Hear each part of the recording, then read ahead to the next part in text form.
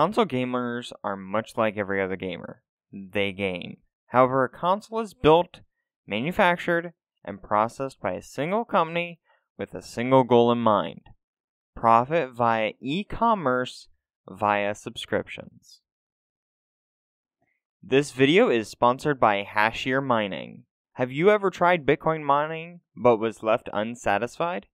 Well, try out Hashier today for 500 gigahash for free for a whole week.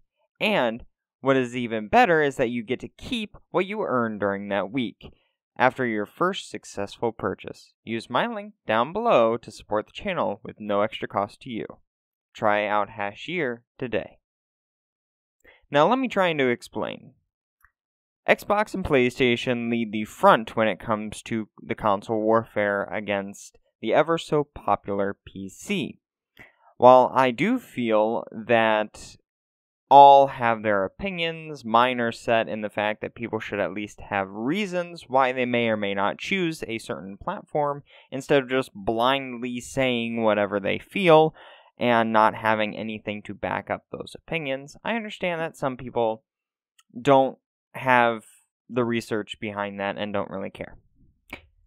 And a good example would be I choose Xbox and a Windows based PC because I can game on my PC, do various other menial tasks, and still make not make it break a sweat. However, I have my Xbox One S, which you can find a link to buy your own down in the description, um, because I have multiple Xboxes in my home. Thanks to Xbox in home sharing, I can buy a game for my Xbox, and the other person can pay me half the cost for it, and then we both can share and play the same games and libraries at the same time online and offline. While the popular PC platform Steam does offer a similar service, sadly it's not as fleshed out and will be covered next week in more detail in the episode Why People Like PC Gaming.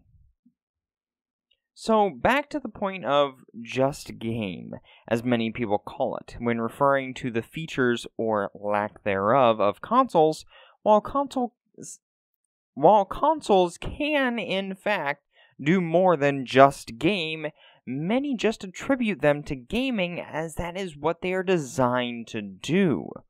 So why do people choose to game on a console? Well, I scavenged the internet and it was very hard to find um, five popular excuses and or explanations for those excuses and I'm going to go ahead and exclude the one listed above about PC about the um, Xbox in-home sharing simply because I already went into detail about that. So, the first common uh, excuse, I guess, is I've always played with a controller. Right. The common, I was born with a controller, so woe is me. Right? Wrong. A lot of people prefer the feel of a controller, and while many PC gamers say that there are many games that support controllers on the PC, there isn't always support for them. This can be horrifying to someone who can't remember all of the keyboard shortcuts to do everything within the game. And then some games may have different shortcuts to others, such as FPS and RPGs. And it just is how it is to some people. Some people just don't like using anything other than a controller because it's too complicated. Number two, console gaming just works. Yes, while this is very true and the most common scapegoat to the console PC discussion that continues to this day. And while yes, there are often better graphics and options, etc., on the PC, the console is guaranteed guaranteed to work out of the box. For example, I was running Titanfall 2 on my Xbox One S, and was getting anywhere between 63 and 92 FPS while capturing through my Elgato Pro capture card. The results could have been better if I plugged directly into the capture card rather than an HDMI switcher and then the Elgato. The fact is, after a few updates and downloads of the games, which are now supposed supposedly better optimized now, I don't know. That's what Xbox is saying. You're ready to play and you don't have to fiddle around with it. because on the PC, I had to essentially completely go offline whenever I want to play Assassin's Creed Syndicate. Because Uplay just does not work.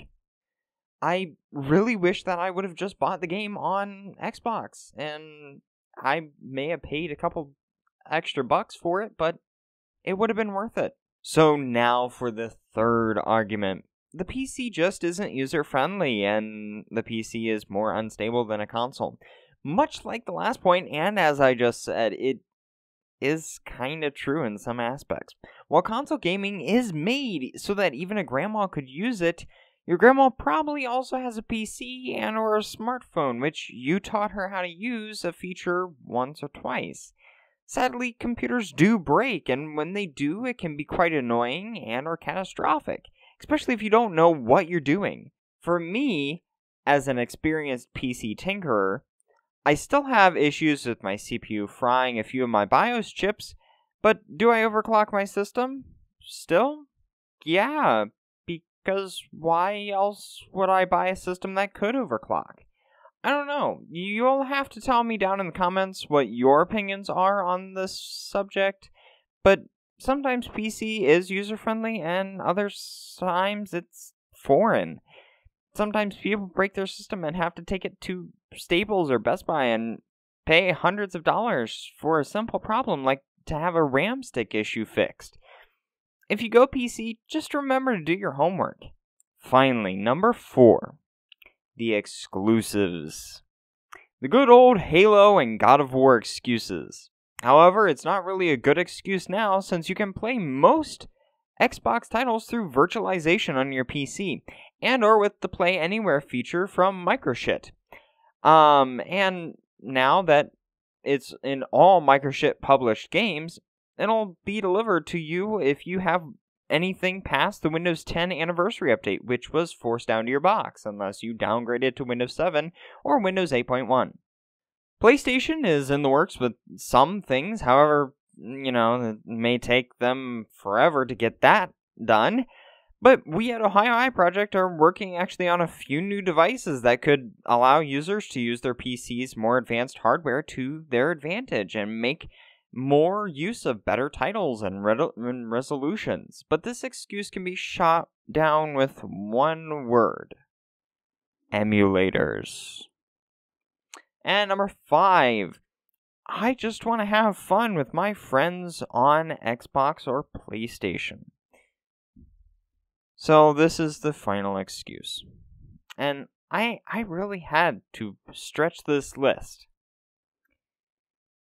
And even after looking it up, I was really hard pressed to find a uh, good excuse that people could use. Honestly, I too have separate friends on every platform. While some are shared across those platforms, I love gaming.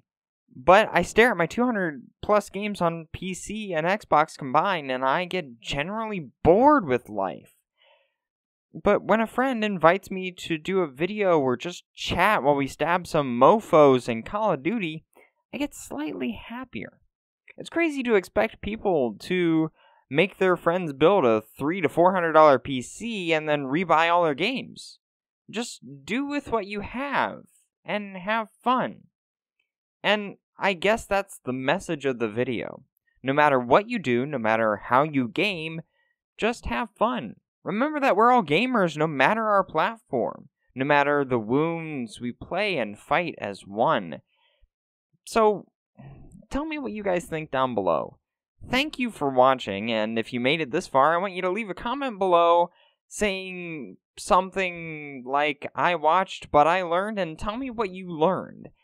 Even if it was nothing, I enjoy hearing from you, and I hope that you will join me next week when I talk about PC gaming and the misunderstandings behind it. So remember to stay loyal and stay subscribed, and I'll see you all next time.